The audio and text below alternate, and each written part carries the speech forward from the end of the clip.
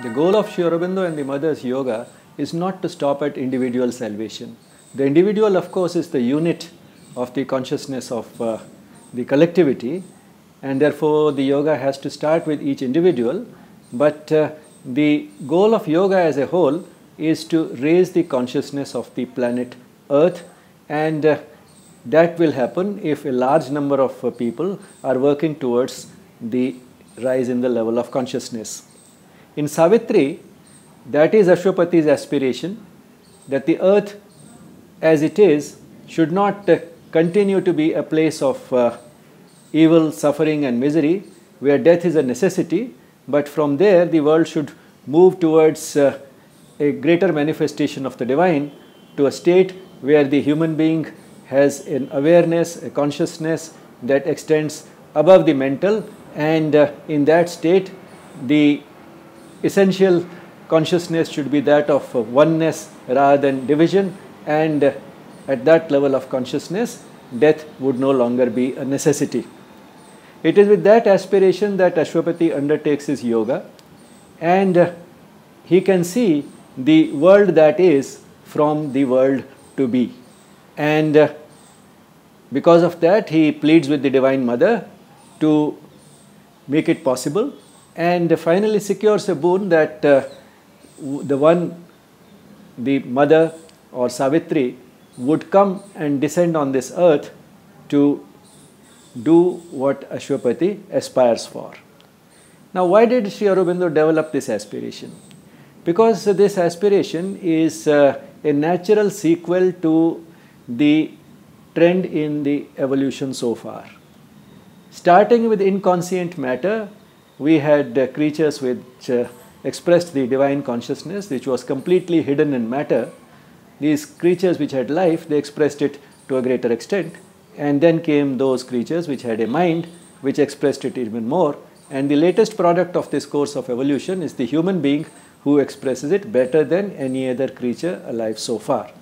But then, uh, if the trend of evolution is any indication, that is not the end of uh, the process, and uh, man should give way to a creature that expresses the consciousness of the divine inherent in all creation to an even greater extent. However, a human being is uh, unique in that it can uh, work towards a rise in its consciousness during its own lifetime and therefore the further evolution need not necessarily depend upon the slow and natural process of evolution. The fact that uh, creatures with a level of consciousness higher than man uh, will be there seems to be inevitable. But then the process can be accelerated and the process can be accelerated by human effort and further Sri Aurobindo uh, brought in in Savitri the element of uh, a divine creature who descends on earth with this express mission to raise the consciousness of earth.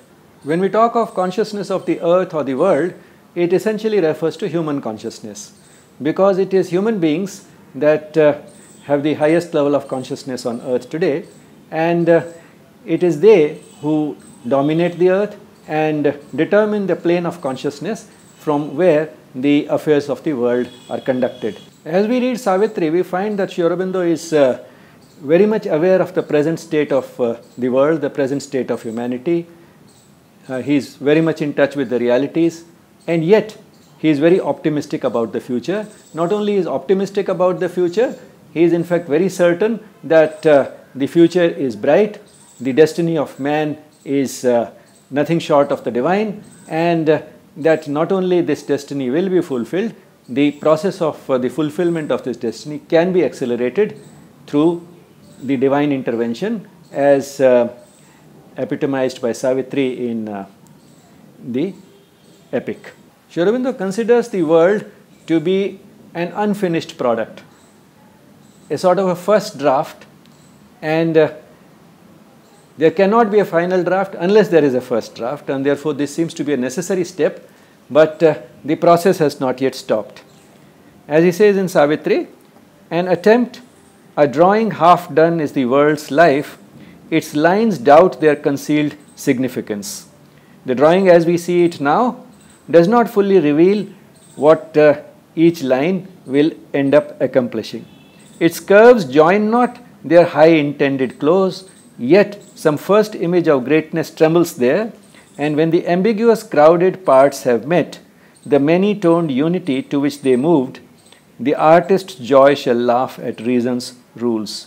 Right now, looking at the world, sometimes we use the tool of reason to point out all its defects and deficiencies, not realizing that uh, as uh, these unfinished lines and curves move towards uh, their final uh, shape, the shape that the creator, the artist has in mind, uh, we would realize that uh, all the rules of reason by which we saw all these defects, which made us see all these defects, were in fact quite ridiculous, and uh, the artist would have the last laugh.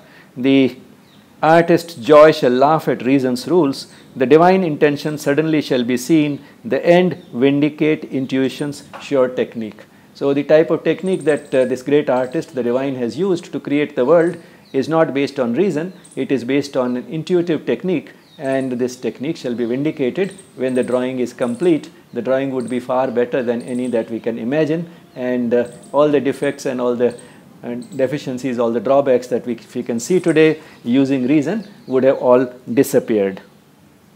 And when we talk of the world being, being uh, an unfinished product, a first draft, just the beginning of uh, a grand drawing, a grand piece of art, what we are referring to is uh, primarily man who will uh, uh, be the base from where the next stage in evolution will spring. And uh, we get a glimpse of that the present state of man and what he could possibly be uh, from page 78 a thinking being in an unthinking world an island in the sea of the unknown. He is a smallness trying to be great an animal with some instincts of a god. His life a story too common to be told, his deeds a number summing up to naught, his consciousness a torch lit to be quenched.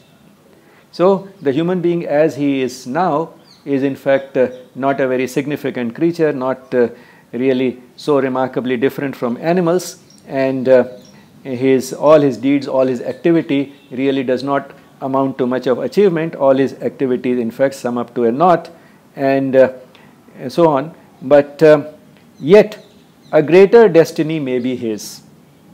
For the eternal spirit is his truth, because the most fundamental reality, the imperishable, constant reality of all creation, including the human being, is the divine, the eternal spirit of the divine. And uh, the human being is the one who expresses that potential, the potential of the divine, it's uh, his uh, inherent divinity to a greater extent than any other creature so far and therefore uh, the process of evolution will lead to the greater destiny of man uh, to be expressed. He can recreate himself and all around and fashion new the world in which he lives. So that is uh, the destiny of man to recreate himself and in the process recreate everything all around him and fashion new the world in which he lives and thereby change the character of the world itself. He, ignorant, is the knower beyond time. He is the self above nature, above fate. He, that is the divine, the divine in man, is the knower beyond time. And uh, he is the self, the true self of man, above nature, above fate. Now let's focus a little on uh, the human being and the world as it is now. Right now, the uh, knowledge and awareness of man is very limited, and so is his power, and so is his capacity to manifest the divine. And that is because the tools that he has at his disposal are rather weak and uh, not equal to the great task of manifesting the divine. The highest tool that he has available is the mind, and uh, the highest faculty of mind is his capacity to reason. But uh, while reason has been able to achieve a lot in the material sphere, all the developments in science and technology are essentially the product of the human intellect, of which uh, reason is uh, the most uh, powerful tool. Uh, that is not the ultimate arbiter of truth, and it is because of the limitations of the tools that he has available that uh, we do not expect the human being to be ordinarily able to uh, reach the truth using the tools that are uh, most uh, visible in him, the tools that he trusts the most, and those are the tools of the mind. While man has within him the eternal light of the divine, as Sri Aurobindo says on page 305, a cave of darkness guards the eternal light. So, this eternal light is in fact guarded in the human being by his uh, body and mind, by a, which are equivalent to a cave of darkness. They only succeed in keeping this eternal light completely hidden, and uh, man is hardly aware of it. So, it is the inadequacy of the tools that man has uh, which uh, reduce man to the level at which he lives now. And it is because of this that he is preoccupied with rather small things.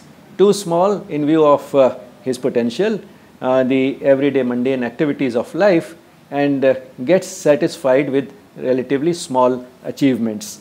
Uh, as Sri says in the Savitri on page 148, a little joy and knowledge satisfied, this little being tied into a knot and hung on a bulge of its environment, a little curve cut off in measureless space, a little span of life in all vast time. A thought was there that planned a will that strove, but for small aims within a narrow scope. Wasting unmeasured toil on transient things, it knew itself a creature of the mud. It asked no larger law, no loftier air. It had no inward look, no upward gaze. So, man is hardly aware of his potential and uh, is quite willing to spend his life on uh, rather small and narrow and trivial pursuits and is quite satisfied with that. However, that does not mean that uh, every man has to waste all his life like that because uh, although uh, the mind is his uh, best tool and that is inadequate for uh, expressing the divine, there are glimpses, there are uh, hints of uh, the infinite even in human life.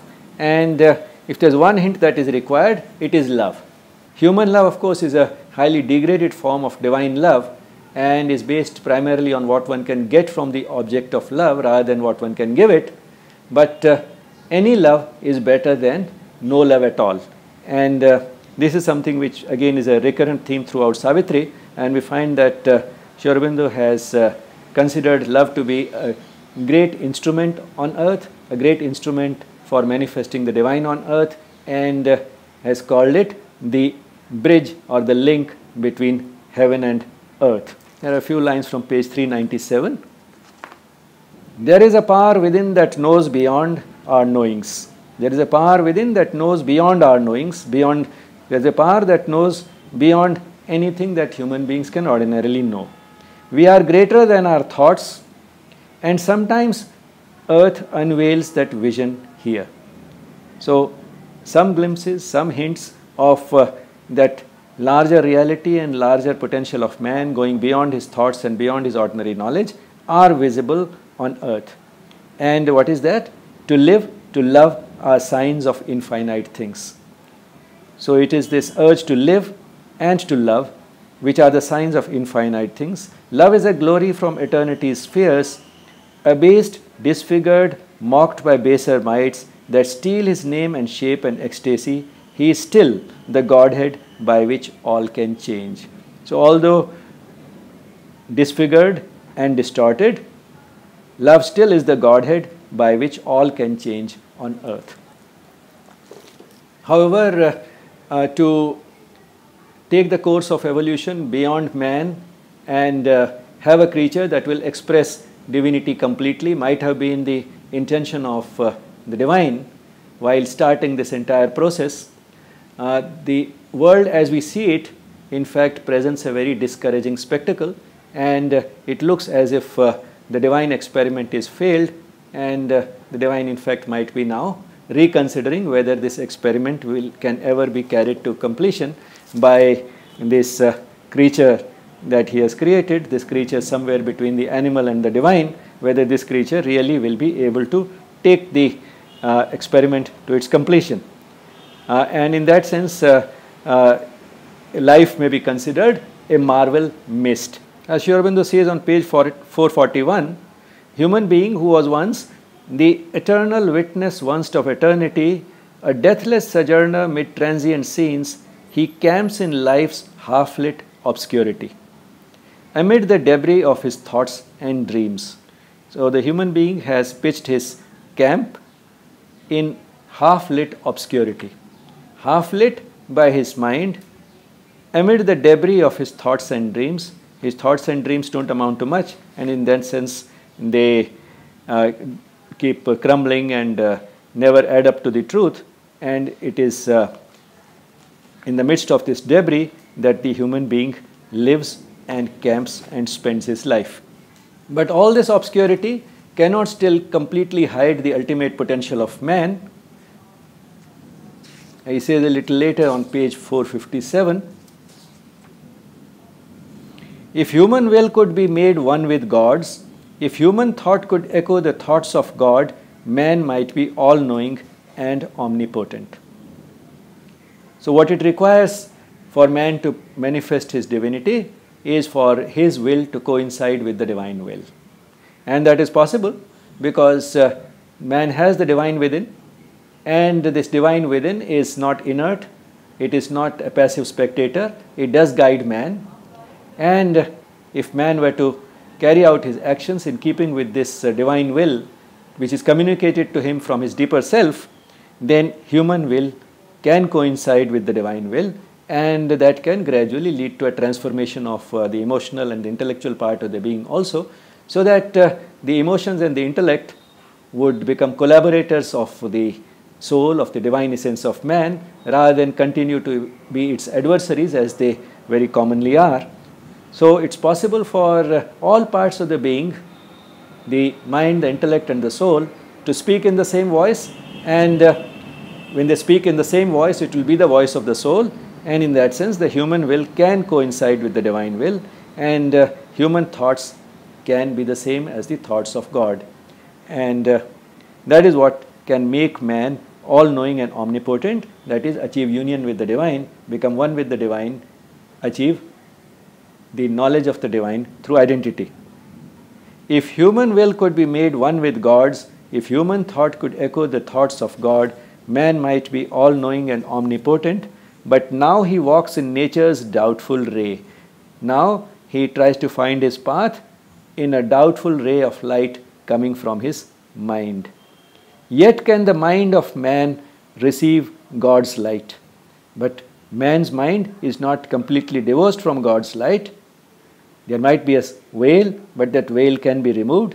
The force of man can be driven by God's force. Then is he a miracle among miracles, for only so can he be nature's king. So these possibilities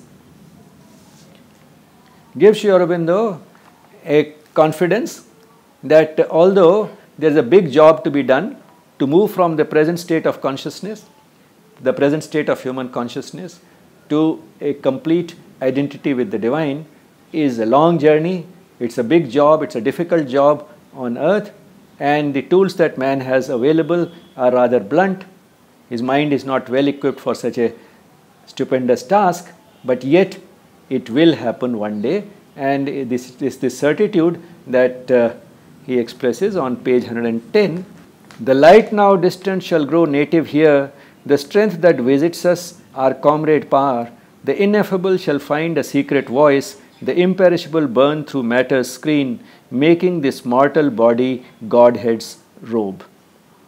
So the light of the divine that now appears distant shall grow native here, shall have uh, its, shall inhabit this earth, shall inhabit the human being, uh, and ex be expressed.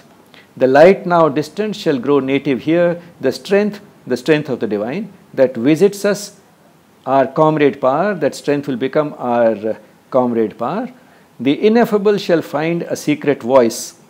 What we are unable to express in finite words will get expressed through a secret voice. The imperishable burn through matter's screen, making this mortal body Godhead's robe. And uh, later on page 330, the supreme confidence that a new creation shall arise. A new creation from the old shall rise, a knowledge inarticulate find speech, beauty suppressed burst into paradise bloom, pleasure and pain dive into absolute bliss. So we shall emerge from this uh, world of uh, dualities, this world of uh, inadequate knowledge and speech, into a new world. A new creation from the old shall rise, a knowledge, knowledge with a capital K, that is uh, the knowledge of the absolute reality. A knowledge inarticulate shall find speech. Beauty suppressed burst into paradise bloom. The beauty cannot be fully expressed unless uh, the divine is expressed. So that suppressed beauty shall burst into paradise bloom, pleasure and pain dive into absolute bliss. Because pleasure and pain, the dualities of life in general, are nothing but the two sides of the same coin, and uh, in that sense, pleasure and pain can both dive into absolute bliss, into a, in a world where these dualities will no longer be necessary. Aurobindo looks upon the present state of man as a critical point. Man has the cho choice of either transcending himself or perishing completely. Because uh, man, being half animal and half divine, does not have the staying power of animals. And uh, either man will be extinct and give way to another creature whom we might call a superman, or man itself has to evolve into that superman, the supramental man. So it's a critical juncture in the evolution of the earth, the evolution of life on earth, and that's why he's calling it a last desperate verge. Alone with death and close to extinction's edge, her single greatness in that last dire scene, she must cross alone a perilous bridge in time and reach an apex of world destiny where all is one or all is lost for man. So either all will be one and man will give way to a supramental creature or all will be lost for man. Man as we know him will be extinct. So to determine which way this choice is made, Savitri is going to play a significant, a critical role and that is why Narad pleads that do not stop her from marrying Satyavan. She is made for greater things, for higher things and uh, her mission in life is to save the world from that doom and take it beyond that uh, extinction's edge to a point where all is one and uh, the future of the world, the future of mankind is secured by man giving way to a supramental creature, a creature which uh, ensures that the affairs of the planet are conducted from a plane of consciousness much higher than the way they are conducted today.